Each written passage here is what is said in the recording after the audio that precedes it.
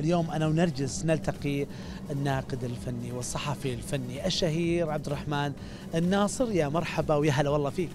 يا هلا وسهلا سعيد معكم اليوم. نلتقي أيضا في حفلة بهية تمتزج ما بين آه، الصوت الشرق والغرب.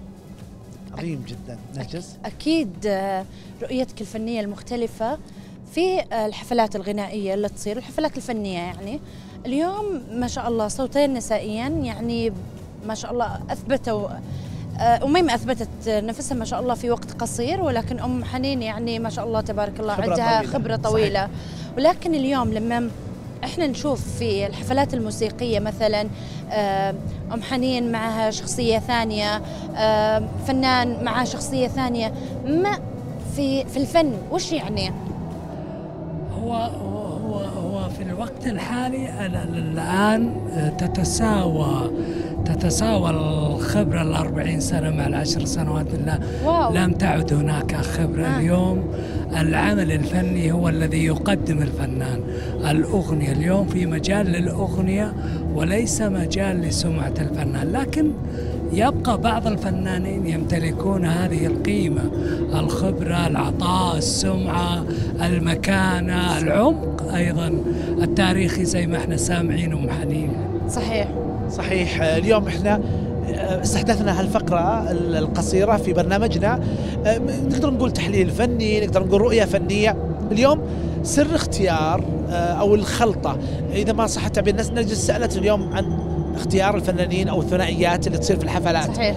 كيف اليوم آه، تحلل آه، إقبال الناس على اختيارات هيئة الترفيه وموسم الرياض في مثل هذه الثنائيات؟ اليوم وكأنهم عارفين ذوق الجمهور. طبعا هذا مو كلامي يمكن كلام الناس في. السوشيال ميديا. لكن اليوم رؤية فنية كيف يمكن أن تخيل ذلك؟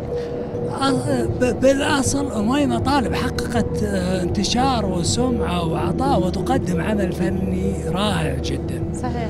إضافة إلى الامتداد اللي تقدمه أم حنين من أربعين سنة. ال- الفكرة أنه هيئة الترفيه تدعم هذه الحفلات تنظمها أيضا روتانا آه، وأيضا آه، شركات أخرى.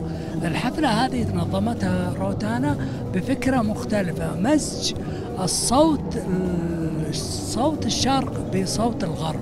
مزج الخليج ب ب- ب- بالمغرب. بالمغرب العربي. اليوم آه، وحتى صوت المغرب العربي أصبح يغني العمل السعودي. اليوم المملكة تحتل مكانة كبيرة جدا على مستوى الوطن العربي.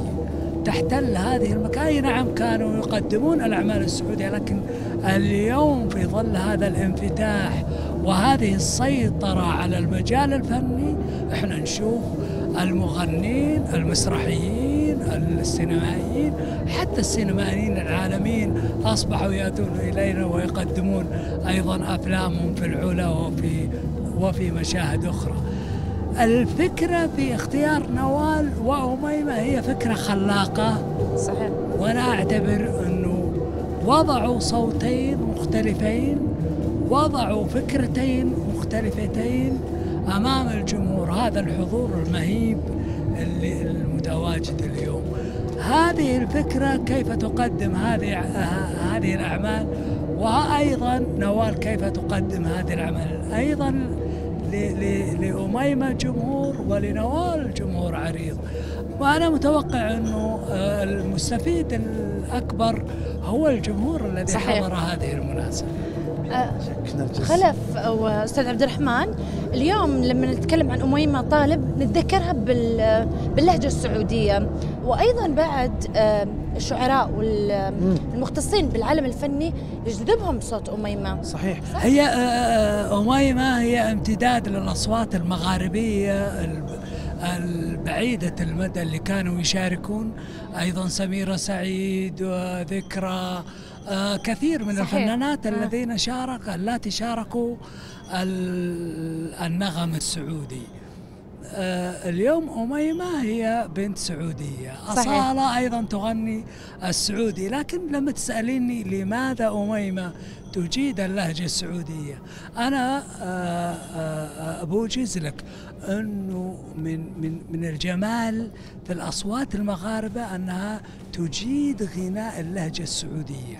أو صحيح. اللهجة السعودية بدليل نجاح س- سميرة توفيق نجاح أميمة طالب نجاح حتى وردة الجزائرية لما غنت مقادير يعني. فوق الخيال.